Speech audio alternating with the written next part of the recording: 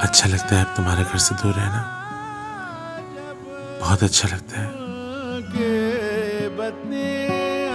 और ऐसी अचानक रंग बदलती है।